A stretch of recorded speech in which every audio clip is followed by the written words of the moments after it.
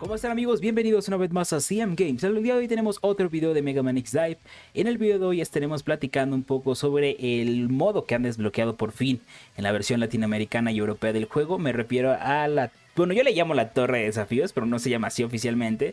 Se llama el elevador orbital Jacob hablé muy levemente en el video pasado que es un, mencioné que es un modo de juego que son un montón de niveles donde puedes conseguir un montón de recompensas, ¿no? Memorias, metales, eh, objetos para subir eh, tus armas, tus personajes y aparte en la dificultad difícil de desafío, pues incluso hasta te dan parches para los personajes, ¿no? Entonces, la verdad este modo está bastante bien, pero es un modo que se va haciendo de poco en poco, de poco en poco. ¿Por qué? Primera, son 100 niveles. 100 niveles por cada, por cada dificultad.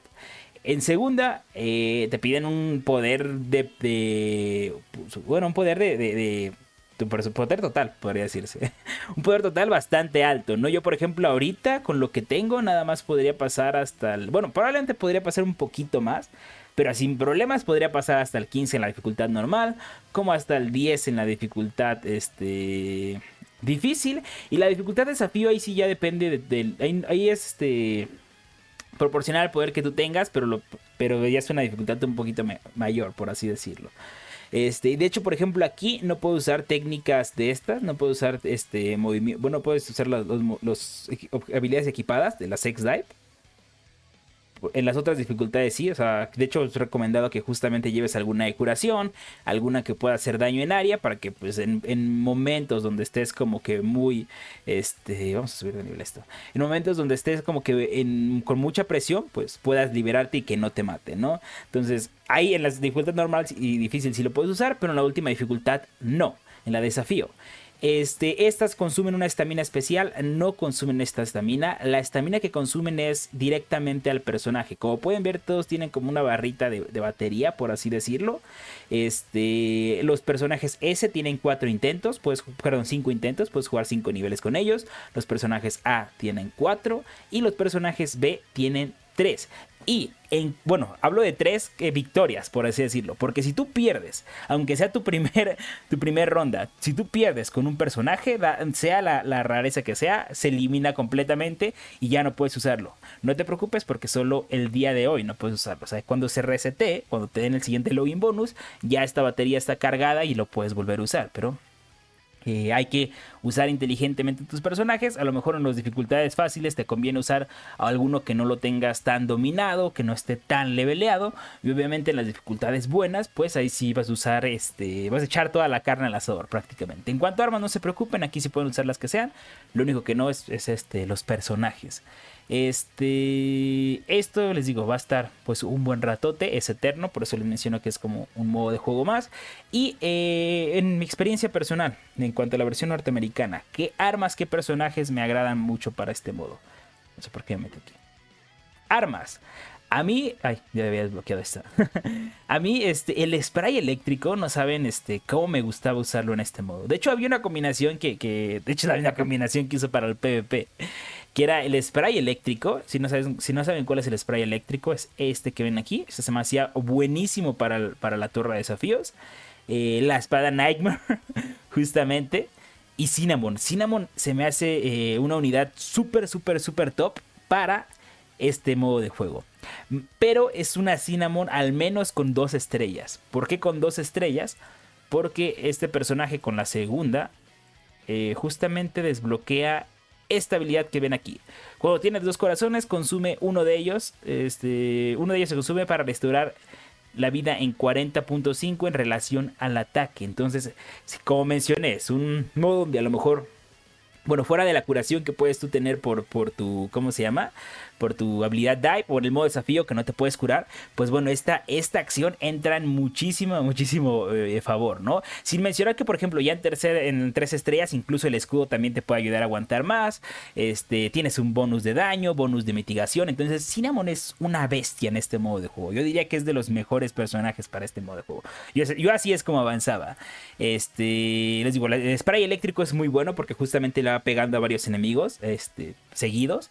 Máximo, de hecho, también podría ser bastante bueno por la cuestión de los escudos que se va poniendo. Pero recuerden que al ser un personaje C, perdón, B, pues solo va a tener tres intentos, ¿no? A diferencia de Cinnamon que va a tener cinco. Entonces, es importante. Pero recuerden si, la, estrella también es algo que, que aquí sí vale.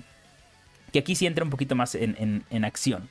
Este, Axel también lo pueden usar, también se mete sus escudos, pero sus escudos, pero es un poquito más complicado. Yo diría que sí, Cinnamon es como la mejorcita para este modo, el spray. Este depende el jefe, por ejemplo, contra algunos jefes, armas como cañones que, peguen bastante fuerte pueden ser muy útil. Las cartas, aquí también la carta esta del, del murcielaguito. Esta, la Baton M501, es buenísima porque te van saliendo un montón de enemigos, entonces tienes la oportunidad de irte curando cada vez que le pegas uno de, de estos. Y bueno, vamos a, vamos a hacer alguna, uno de los desafíos. ¿no? Vamos a hacer uno en, uno en normal para que vean que, que sí aparecen estas, estas cosas. Y después uno, bueno, no, vamos, a, vamos a hacer uno en difícil y uno en desafío. Y vamos a llevar justamente a máximo. Para que lo vean. Les digo, este es un modo que van haciendo poco a poco. No, no se desesperen si no avanzan mucho. O sea, tienen todo el tiempo del mundo para ir haciéndolo. Lo importante sería, no sé, que intentaran hacer al menos un nivel de cada dificultad por día mientras van emparejando el nivel que van alcanzando. Y una vez que vayan emparejando, pues ya más bien van a ir haciendo los niveles este, mediante, bueno, dependiendo a, a, cuánto poder tengan ustedes, ¿no? Pero, por ejemplo, aquí está, está todavía sencillona, no hay mucho problema. Cuánto me, cuánto me hacen de daño. Uno, o sea, ni siquiera, ni siquiera tengo que, tomar mucho en cuenta lo de los escudos ni nada. Y como pueden ver, pues aquí están, aquí sí se pueden usar las habilidades, ¿no? Puedo usar esta y la de curación que tengo asignada a la, a la otra arma. La cosa va a ser ahorita que entremos a la de desafío. Les digo, la de desafío es proporcional al poder que ya tienen ustedes. Por eso es que no les pone un poder recomendado. Esto.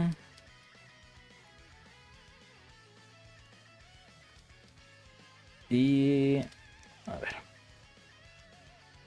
Y tienen, bueno, como pueden ver, tiene un tiempo límite para poder este, eliminar a todos los enemigos. Si no los eliminan, eh, cuenta como derrota y al personaje ya no lo pueden usar. También algo que no mencioné es cada cinco, cada cinco niveles hay un jefe, prácticamente. Este, y el jefe, digo, los primeros están muy, muy sencillos. Pero este, ya después van, van, siendo jefes con un montón de barras de vida, ¿no? Con 60, 70 barras de vida. Entonces, ahí está complicado. Ahí prácticamente tienes que hacerlo con muchos personajes, porque está imposible que te los hagas con uno solo. Entonces, prácticamente juegas con uno, le bajas una cierta cantidad de vida y la ventaja es que cuando, o sea, aunque pierdas ese personaje ya no lo hayas podido usar, bueno, que ya no lo puedes usar porque justamente se acabó el tiempo y perdiste, este, cuando usas al siguiente personaje se queda con las barras de vida que tú ya la habías bajado, ¿no? Entonces es una que los jefes se van haciendo igual de, de poco a poco. Mira, vamos a intentar la dificultad de desafío. De hecho, igual, vamos a ver que, que, el máximo, que este máximo ya tiene una, una barrita menos de vida, ¿no? Ya no es, bueno, no de vida, de batería. Entonces les digo, es algo que, ahí, tienen que ir organizando, ¿no? Cómo, cómo es que van a, mandar a sus personajes. De hecho, no debí usar a Máximo, considerando que es uno de mis mejores personajes. Debí haberlo dejado para el final. Pero bueno, para el video no hay, no hay mucho problema, ¿no? Aquí sí ya te hacen más daño. Es más, me voy a dejar pegar. Vean, hace rato como me bajaban uno nada más. Y ahorita sí ya me bajan más. Entonces aquí sí hay que estar un poquito más, este, más al pendiente, ¿no? Aquí sí ya tenemos que hacer un mejor uso de los escudos y todo eso, porque si no, este, pues, no, nos, truenan. Y este, la ventaja aquí, les digo, la carta, por ejemplo, de la B501, pues me va curando cada cierto tiempo. Este, y bueno, gracias a las habilidades que tiene Máximo, pues el escudo también ayuda este, un montón, ¿no? Aquí por eso les digo que Cinnamon ayuda bastante, porque Cinnamon eh, se mete un escudo que te va curando, que te da, que te da más daño, te hace este, que pegues más fuerte, te, te, da reducción de daño, entonces Cinnamon, les digo, termina siendo una, una bestia en este, en este modo de juego. Si hay, una, si hay un salto entre, entre dificultades, como pueden verlo. Entonces es cuestión de organizarse y no se preocupen, o sea, no se desesperen, vayan haciéndolo poco a poco, pero sí intenten ir haciéndolo desde ahorita para que vayan consiguiendo algunas, algunas recompensas. Pero bueno, pues vamos a dejar esto hasta aquí chicos. Espero les haya gustado, espero les haya servido este, este video.